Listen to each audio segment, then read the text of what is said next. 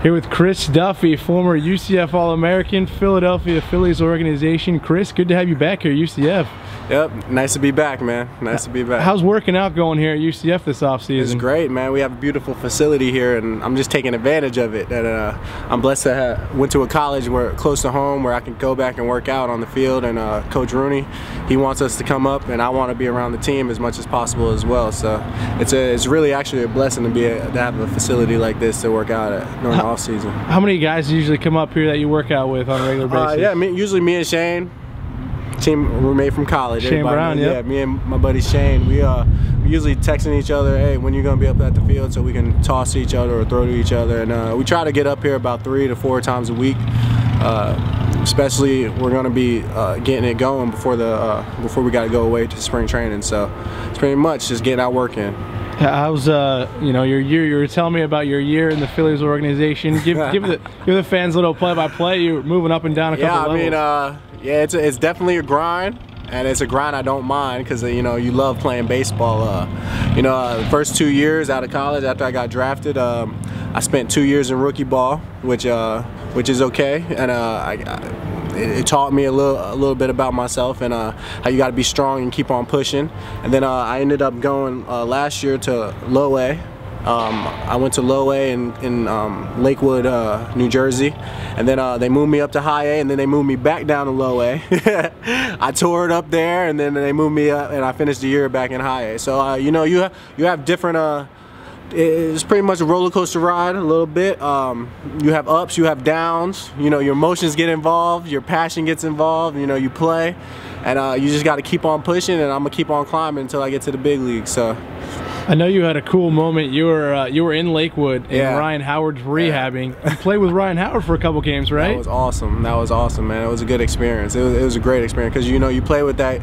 You you play PlayStation or uh, Yep. or Nintendo growing up, and uh, you know you play with Ryan Howard, and it's it's cool watching him on TV and stuff, and then you're in the same dugout with him on the same field, warming up with him, and it's pretty cool. And uh, you know that's just an example where I want to be at, and that's my goal to uh, you know eventually sign a big contract like that, you know, and uh, to play in the big league. So it was a good example, you know, for me to see, and uh, it also helped me to see that I can do it. You know, it, it helped me to realize that hey, it's right around the corner. So In one of those games, did you have the game-winning hit? yeah, I you did. I did have to walk out. Yeah, uh, well, he hit the sac fly that moved Okay. the runners over.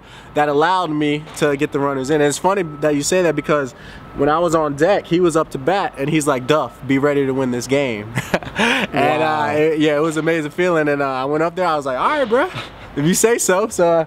You know, I uh, I think I got a, I think it was one and zero count. I hit a line drive up the middle. The runner scored, and it was a really good feeling in baseball. And uh, it was good to make uh, 10,000 people in the stadium stand up. You don't know that that that feeling is a really good feeling.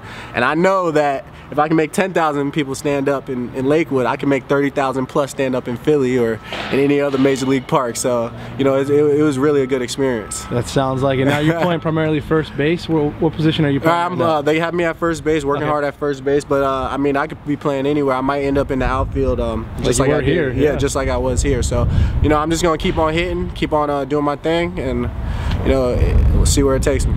Uh, talk about what it's like uh, seeing UCF continue to do well. I know uh, you graduated in 2010. Yeah. And then, you know, back-to-back regional appearances for these guys. How Right. off, how close do you follow the team, uh, even though you're? Yeah, I'm kind of mad because we, we don't decide to go to a regional until the until the years I leave. I was I was asking Rooney, what's up with that, man?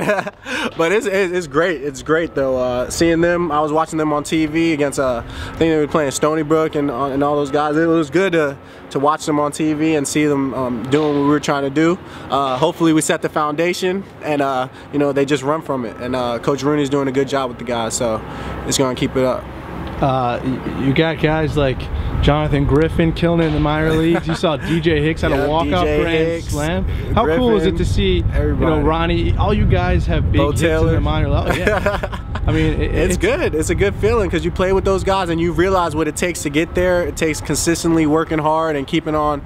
You know, every everybody has their different road or their different path to get there or try to make it. You know, and you see those guys before we get drafted and how we want to get drafted, and then you guys see you see them after and how they're dealing with the same things you're dealing with, trying to make it to the big big leagues. I remember DJ uh, he had a lot of trials and you know a lot of things put before him, and uh, you know he worked through it. And I mean, he's up there playing, and he had a great season. So we're just going to keep on moving and keep on trying to get to the big leagues. So it, it just shows that UCF's a great place for people to move up in definitely, the ranks, right? Definitely, definitely. You come to UCF, it's a good, uh, it's a good environment to play in, and uh, it's, a, it's, a, it's a great way, great facilities, and it's a great way to get better. So I know I'm pretty excited, but you got to be excited about the stadium expansions. You got the the yeah, seats up cool. here now. Yeah, that's pretty cool. I told him the first game I come to this year, I'm gonna be sitting up here watching it, watching over him. so it's pretty cool. It'll be perfect. February 15th. Thanks a lot for the time, Chris. Thank you. Appreciate it.